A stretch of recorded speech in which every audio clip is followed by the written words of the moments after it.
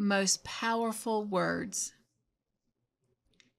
A wise voice from heaven said, This is my Son, whom I love. With him I am well pleased. Matthew 3 17. Not too long ago, I stood at the sink trying to ease the stabbing feeling of stress. I had so much pulling at me. I found myself rushing my loved ones in conversation, rushing my kids out the door, rushing to the next thing and then the next, rushing to make dinner and then rushing my people through dinner. I had set my life to the rhythm of rush. Exhaustion gnawed deep places in my heart, demanding me to slow down. But how?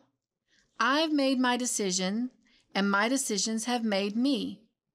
Me, this shell of a woman caught in the rush of endless demands. Have you ever felt this same way? I suspect most of us have. Like I said in the last devotion, I'm starting to realize the two most powerful words are yes and no.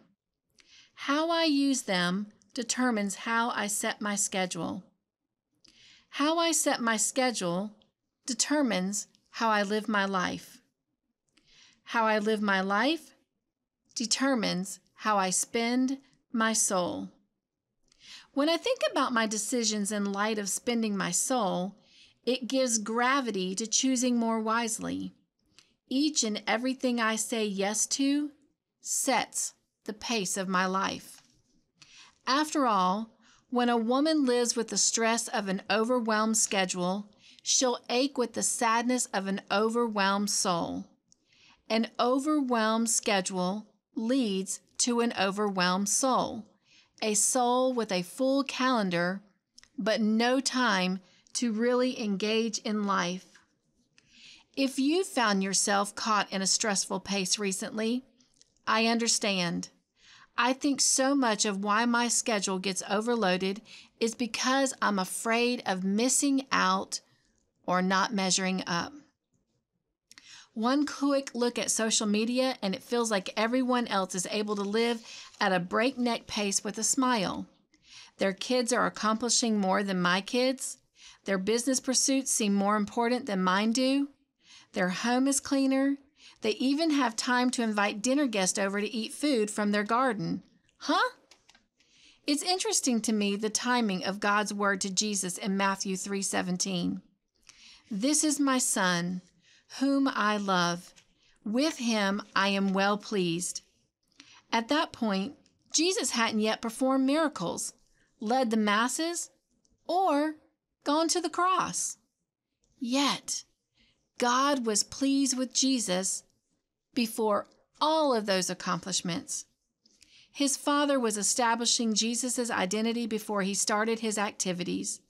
Jesus heard God, believed God, and remained unrushed. In Christ, God has given us a new identity. Romans 6, chapter 4. But unlike Christ, we forget. We fill our days and our lives with so much activity that the only way to keep up with it all is to rush. And I'm discovering that the source of much of the stress in my life is the constant need to keep up. But what if I'm chasing the wrong desire? Do I really want my life to look more like others? Or to look more like God's best for me? God's best for me means engaging with life and the people in it. God's best for me means noticing divine invitations and feeling the freedom to say yes, a best yes, to the Lord's assignments. If I really want an unrushed life, I must underwhelm my schedule so God has room to overwhelm my soul. Today, we must stand moment by moment in the reality of our identity before we resume our activity. Grasp this truth and rub it in deep. You are my sons and daughters, whom I love, with whom I am well pleased. Well pleased because of who you are, not because of what you do. well pleased because of an unfathomable, unconditional love that's not earned but simply given. Pray this prayer with me. Dear Lord, unrush me as I set my schedule today.